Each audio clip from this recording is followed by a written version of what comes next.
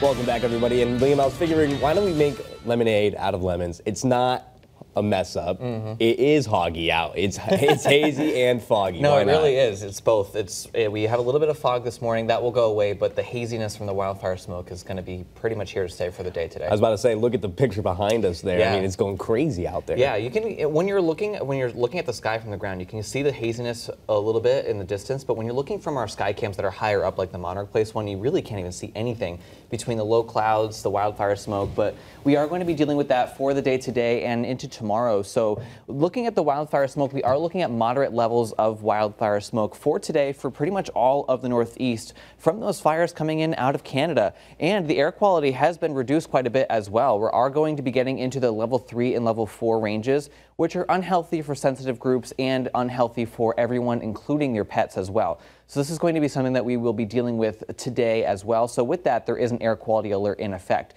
In fact, our current air quality index is 151, and that's when it starts to get unhealthy for everyone, not just those sensitive groups, including their pets. So it's definitely a good idea to limit your time outside with no really vigorous activity, and you definitely could start to feel a little bit of some headaches, some irritated eyes, and you can even smell it a little bit as you're heading out this morning. So with that, we are going to be looking at a little bit of some wildfire smoke. This is going to be in the higher levels of the atmosphere, this particular futurecast, and we are going to continue to see that move across the area, and we are going to see it kind of filter out the sunshine. We're not going to be seeing all that many clouds, especially for the beginning half of the day, but as we head into the uh, second half of the day, we'll see some more clouds building in, but we will regardless see a little bit of some of that filtered sun with a little bit of a milky appearance to the sky with this wildfire smoke that's high up in the atmosphere. Looks like we'll see things improving slightly as we head into the day on Sunday and into Monday.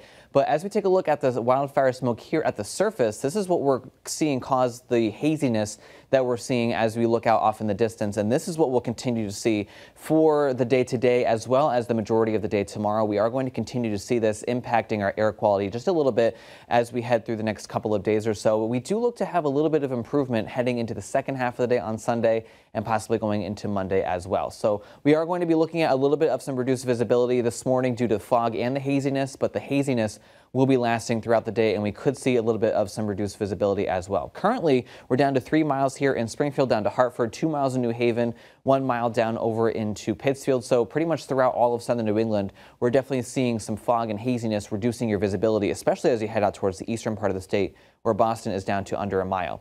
Now, as we take a look at your 24, we'll see a little bit of some fog this morning, but that will quickly burn off, giving way to mostly sunny skies, but it will still look a little hazy because of that wildfire smoke. Today is going to be a warm day as well, but not overly humid. We are going to see dew points getting up into the 60s, so it could feel a touch muggy, but really overall, it won't be all that bad out. It's not till later on this week we are going to be dealing with those dew points getting into the oppressive levels.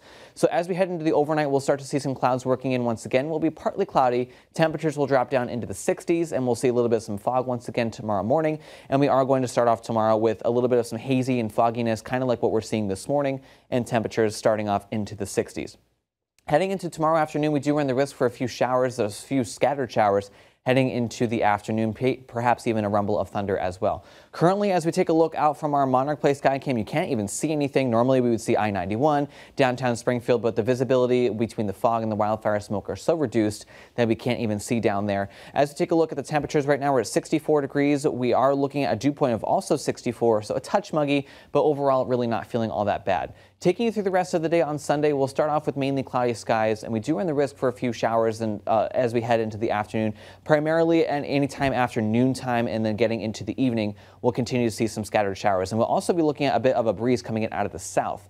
This ushers in those warmer and more humid temperatures that we're going to be seeing for the rest of the weekend and into much of next week where it is going to be significantly humid. We do run the risk for a few scattered showers as well as we head into the day on Monday and then into the afternoon on Monday. We could even see a line of perhaps even some thunderstorms coming through with those winds coming in out of the south with a cold front and then the winds will shift coming in out of the west behind that front. So this is going to be our next weather maker. We are going to be looking at some scattered showers and storms both Monday and into Tuesday.